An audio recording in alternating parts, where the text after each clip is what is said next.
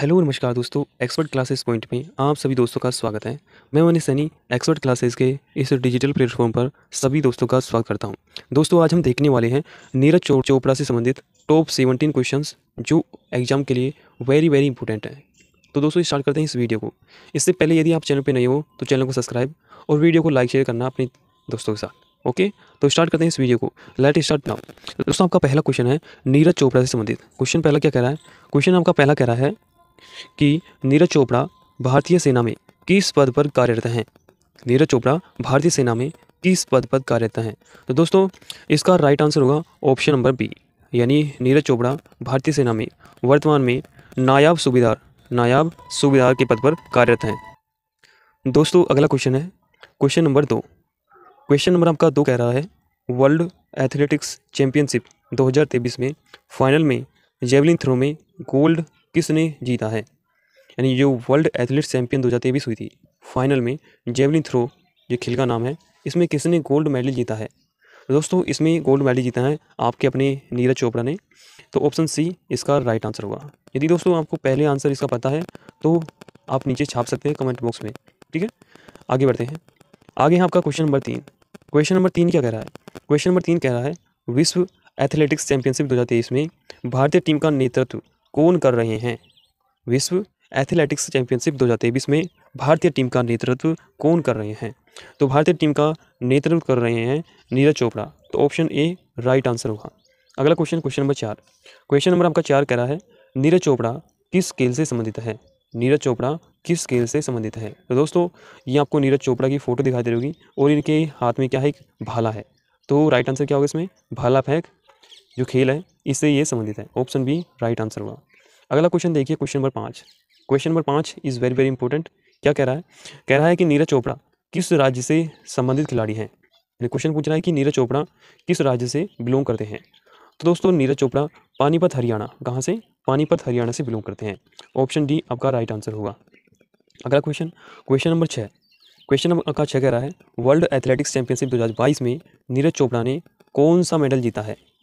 देखो 2023 में जो प्रतियोगिता हुई थी, उसमें तो गोल्ड मेडल जीता है, लेकिन हमसे पूछ लिया कि 2022 में नीरज चोपड़ा ने कौन सा मेडल जीता है?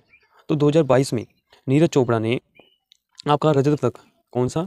रजत पदक जीता है। ऑप्शन बी आपका राइट आंसर होगा। अगला क्वेश्चन क्वेश्चन नंबर सात। क्वेश्चन नंबर सात कह रहा है, एशियन गेम्स 2018 में नीरज चोपड़ा ने जेवलिन थ्रो में कौन सा पदक जीतने वाले भारतीय पहले भारतीय बने हैं? एशियन गेम्स 2018 में नीरज चोपड़ा जेवलिन थ्रो में कौन सा पदक जीतने वाले पहले भारतीय बने हैं? तो इन्होंने स्वर्ण पदक जीता है। कौन सा? आपका राइट आंसर होगा ऑप्शन नंबर एक। स्वर्ण पदक इन्होंने एशियन गेम्स 2018 में जीता है। अगला क्वेश्चन क्वेश्चन नंबर आठ। क्वेश्चन नंबर आठ क्या कह रहा है? क्वेश्चन नंबर आठ कह रहा है कि पुणे में पुणे छावनी के आर्मी स्पोर्ट्स पुणे छावनी के आर्मी स्पोर्ट्स इंस्टीट्यूट स्टेडियम का नाम बदलकर क्या रखा गया है? क्वेश्चन नंबर आठ। पुणे छावनी के आर्मी स्पोर्ट्स इंस्टीट्यूट स्टेडियम का नाम बदलकर क्या रख दिया गया है? तो इस स्टेडियम का नाम बदलकर नीरज चोपड़ा स्टेडियम कर दिया गया है। इनके सम्मान में इसका नाम क्या कर दिया? नीरज चोपड़ा स्टेडियम। तो ऑप्शन सी आपका राइट आंसर होगा अगला क्वेश्चन क्वेश्चन नंबर दस। क्वेश्चन नंबर दस कह रहा है, नीरज चोपड़ा को विशिष्ट सेवा पदक वीएसएम से किस वर्ष नवाजा गया है या सम्मानित किया गया है? नीरज चोपड़ा को विशिष्ट सेवा पदक से किस वर्ष सम्मानित किया गया है? तो नीरज चोपड़ा को 2020 में, कब? 2020 में सॉरी 2020 में विशिष्ट सेवा पदक से सम्मानित किया गया है। यानी ऑप्शन बी आपका राइट आंसर होगा। अगला क्वेश्चन क्वेश्चन नंबर ग्यारह। क्वेश्चन नंबर ग्यारह क्या है कि टोक्यो ओलंपिक 2020 में नीरज चोपड़ा ने कितनी दूरी के साथ भाला फेंक में स्वर्ण पदक जीता था? टोक्यो ओलंपिक 2020 में। पूछ रहा है तो इसका राइट आंसर होगा आपका ऑप्शन नंबर डी यानी eighty seven point fifty eight point अट्ठावन मीटर इन्होंने भाला फेंका था, जिसमें इनको स्वर्ण पदक मिला था। तो ऑप्शन डी इस करेक्ट आंसर होगा। अगला क्वेश्चन क्वेश्चन नंबर बारह। क्वेश्चन नंबर बारह कहता है कि golden boy Neeraj Chopra. Golden boy Neeraj Chopra नामक पुस्तक के लेखक कौन है? तो नीरज चोपड़ा की जो संबंधी पुस्तक है गोल्डन बॉय इसके लेखक हैं आपके नवदीप सिंह गिल। नवदीप सिंह गिल। ऑप्शन ए आपका राइट आंसर होगा। अगला क्वेश्चन क्वेश्चन नंबर तेरह। क्वेश्चन नंबर तेरह कह रहा है, नीरज चोपड़ा को पद्म श्री से किस वर्ष सम्मानित किया गया है? नीरज चोपड़ा को पद्म श्री से किस वर्ष सम्मानित किया गया है? तो नीच नीरज चोपड़ा को 2022 में। कब? 2022 में पद्म श्री से नवाजा गया था। किससे? पद्म श्री से। अगला क्वेश्चन इसमें आपका तेरह क्वेश्चन का राइट आंसर होगा। ऑप्शन बी अगला क्वेश्चन क्वेश्चन नंबर चौदह। क्वेश्चन नंबर चौदह कह रहा है, नीरज चोपड़ा को अर्जुन पुरस्कार। कौन सा पुरस्कार? अर्जुन पुरस्कार से किस वर्ष सम्मानित किया गया है? तो नीरज चोपड़ा को अर्जुन पुरस्कार से 2018 में सम्मानित किया गया था। यानी ऑप्शन डी आपका राइट आंसर हुआ अगला क्वेश्चन क्वेश्चन नंबर पंद्रह। क्वेश्चन नंबर पंद्रह कह रहा है आपका कि भारत के किस स्टार खिलाड़ी ने दोहा डायमंड लीग 2023 का खिताब अपने नाम किया है? तो इसका भी राइट आंसर होगा आपका option number C Neeraj Chopra. Is correct answer अगला क्वेश्चन क्वेश्चन नंबर सोलह। वेरी वेरी इंपॉर्टेंट ये नीरज चोपड़ा को मेजर ध्यानचंद रत्न पुरस्कार से किस वर्ष सम्मानित किया गया? नीरज चोपड़ा को मेजर ध्यानचंद खेल रत्न पुरस्कार से कब सम्मानित किया गया?